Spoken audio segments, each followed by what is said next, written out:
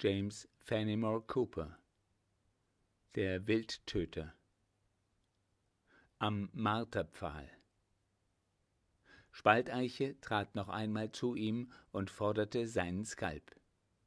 Einige von den jungen Männern traten mit dem Tomahawk in der Hand in den Kreis, sie warteten ungeduldig auf den Beginn der Marterung. Wildtöter wurde gefesselt, die Arme mit Stricken fest an den Leib gebunden und die Beine eng aneinander, so schleppten sie ihn an einen jungen Baum und machten ihn dort fest, dass er sich weder rühren noch fallen konnte. Es galt jetzt, den Tomahawk so genau zu werfen, dass er haarscharf neben dem Kopf des Gefangenen in den Baum schlug. Hierzu wurden allgemein nur die besten Werfer zugelassen, damit nicht ein vorzeitiger Tod des Opfers die Unterhaltung verkürzte. Wildtöter stand unbeweglich, als die ersten Tomahawks neben seinem Kopf einschlugen. Er wurde zwar mehrmals leicht gestreift, erhielt aber nie eine gefährliche Wunde die unerschütterliche Festigkeit, mit der er auf seine sich wie wild gebärenden Gegner blickte, besonders als zum Schluss dieses Spiels alle zugleich ihre Eisen nach ihm schleuderten, erwarb ihm die Achtung aller Zuschauer. Der junge Jäger habe sich wie ein Mann benommen, unterbrach Spalteiche das gefährliche Spiel. Er fragte an, ob es der Wunsch der Huronen sei, die Martern fortzusetzen. Einstimmig wurde dies gefordert, und der kluge Häuptling, der noch immer damit rechnete, Wildtöter für seinen Stamm zu gewinnen, musste zunächst nachgeben. Er rief einige der besten Schützen heran, um den Gefangenen der Büchsenprobe zu unterwerfen. Wildtöter erhoffte sich, als er die Gewehre auf sich gerichtet sah, davon ein baldiges Ende seiner Qualen, denn die geringste Abweichung der Kugel konnte ihm den erlösenden schnellen Tod bringen. Kugel um Kugel klatschte neben Wildtöter in den Baum, links und rechts um seine Ohren zischend. Aber er rührte sich nicht, starrte in die Mündung der Gewehre, ohne mit den Augen zu zucken. Dergleichen hatte noch keiner von den Huronen erlebt. Wir haben Wildtöter zu festgebunden, rief Spalteiche aus. Seine Starrheit ist schuld, dass er keine Furcht zeigt, nicht sein kühnes Herz. Bindet ihn los, damit er sich freier bewegen kann. Der listige Vorschlag des Häuptlings fand Beifall, und man zerschnitt die Seile, dass unser Held ganz frei dastand und durch Stampfen und Springen und Reiben seiner Glieder sein Blut in Bewegung brachte. Damit fand er auch seine alte Tatkraft wieder, und sein Geist beschäftigte sich nur noch mit dem Gedanken an seine Rettung.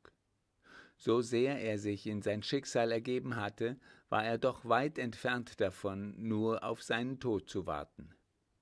Zur Ruhe freilich kam er nicht, jetzt war es Sache der Frauen, ihn durch Spotten und Schimpfen und Bosheiten aller Art in Wut zu bringen damit er den nun folgenden Martern weniger widerstehen sollte.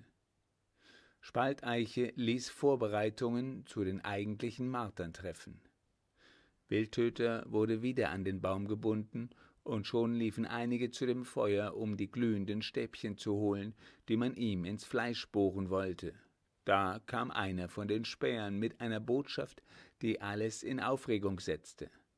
Angetan mit einem prächtigen Brokatkleide und anderen Herrlichkeiten aus der Truhe, trat Judith mit der Gebärde einer Herrscherin in den Kreis, um mit ihrer Erscheinung die Freilassung des Gefangenen zu befehlen.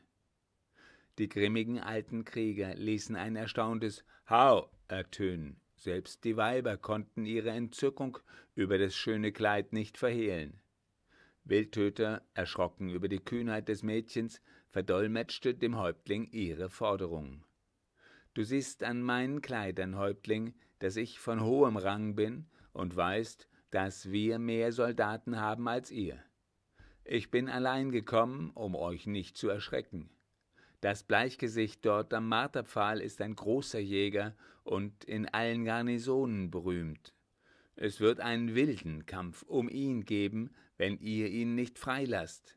Es ist besser, ihr gebt ihn mir in Frieden heraus. Ich höre einen wundervollen Vogel singen, antwortete der alte Fuchs, der sich nicht hinters Licht führen ließ. Der Vogel hat schöne bunte Federn, er wird auch einen Namen haben. Komm her, meine Tochter, mit dem schwachen Geist, und nenne mir seinen Namen. Der Häuptling hatte richtig mit der Einfältigkeit Hettys gerechnet. Nicht gewohnt, sich zu verstellen, sagte sie, dass es ihre Schwester Judith sei. Mit triumphierendem Lächeln wandte sich der Häuptling an seine Krieger, um sich mit ihnen zu besprechen, während Judith einen flehenden Blick auf Wildtöter warf, als ob von ihm, dem Hilflosen, eine Hilfe kommen könnte. Auf alle Fälle werden sie nicht wagen, euch in meiner Gegenwart zu martern, meinte das edelmütige Mädchen, und eine halbe Stunde Aufschub ist ein großer Gewinn für uns. Deine Freunde sind nicht untätig. Als Spalteiche jetzt wieder vor seinen Gefangenen trat, war alles Wohlwollen aus seinen Zügen verschwunden. Dass ihn die Tochter Hatters durch ihre Verkleidung angesichts seines Stammes übertölpeln wollte, konnte er nicht hingehen lassen. Dürres Holz wurde herbeigeschleppt und in der Nähe des Opfers angezündet, dass Rauch und Glut unerträglich wurden.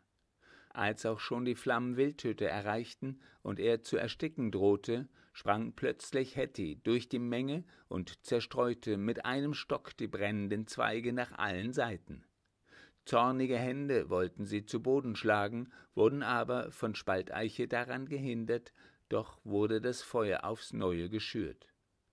Da machte sich im rechten Augenblick eine Indianerin Bahn durch die Menge und stieß das prasselnde Reisig mit dem Fuß zurück.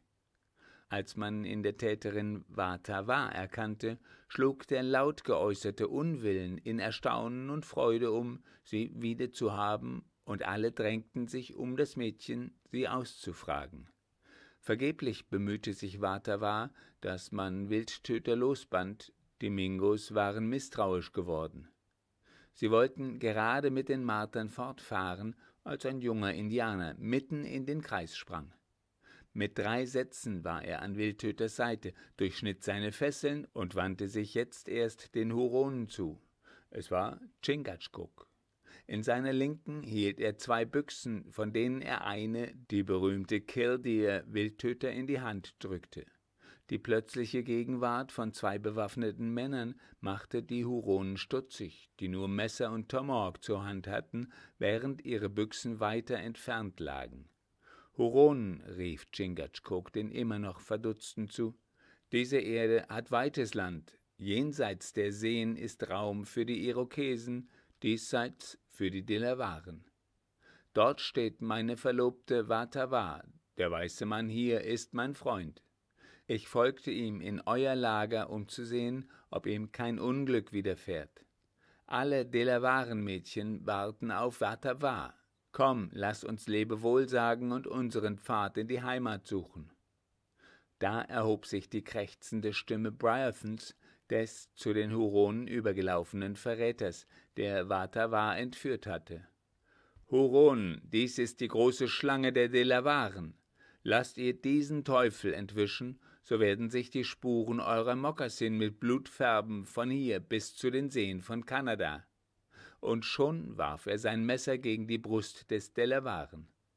Durch Watawa, die kein Auge von ihm gelassen hatte, wurde mit schnellem Stoß gegen seinen Arm die Gefahr abgewendet, und Chingachgook warf sein Messer und durchbohrte die Brust seines Gegners, dass er tot zur Erde stürzte. Der schnelle Ablauf der Ereignisse hatte die Huronen verblüfft. Jetzt aber erhob sich ein höllisches Geschrei, und die ganze Bande geriet in Bewegung. Zugleich hörte man vom Walde her ein ungewöhnliches Stampfen und Dröhnen, zwischen den Bäumen kamen Gestalten und blinkende Waffen zum Vorschein. Eine Abteilung Soldaten in scharlachroten Röcken brachen in Sturmschritt aus dem Wald. Das Wutgeheul der so plötzlich Überfallenen, das Angstgeschrei der fliehenden Weiber und Kinder und das Rufen der angreifenden Truppen vermischten sich zu einem wüsten Lärm und Kampfgetümmel. Wildtöter hatte Judith und Watawa hinter den Bäumen in Sicherheit gebracht, aber vergebens nach der von den Huronenweibern mitgerissenen Hetty ausgeschaut. Dann kämpfte er an der Seite Chingachgooks und Harris gegen die sich verzweifelt wehrenden Indianer, denen jeder Rückzug abgeschnitten war, bis ein Bajonettangriff der Soldaten den letzten Widerstand der Wilden brach